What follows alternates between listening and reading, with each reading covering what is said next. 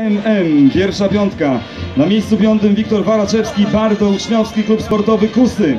Na miejscu czwartym Konrad Bryłka, Bralin, WKK, Wieruszów, Młodzik.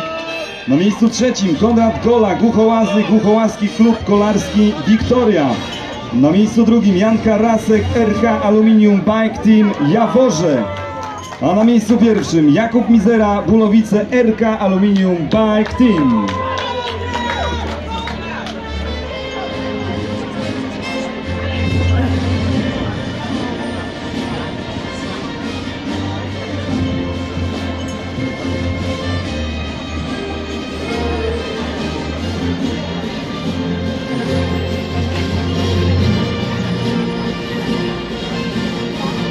Jeszcze medal dla zwycięzcy w tej kategorii, w najmłodszej kategorii, w kategorii młodzików. Brawa dla wszystkich najmłodszych kolarzy, którzy dzisiaj rywalizowali na dystansie mini.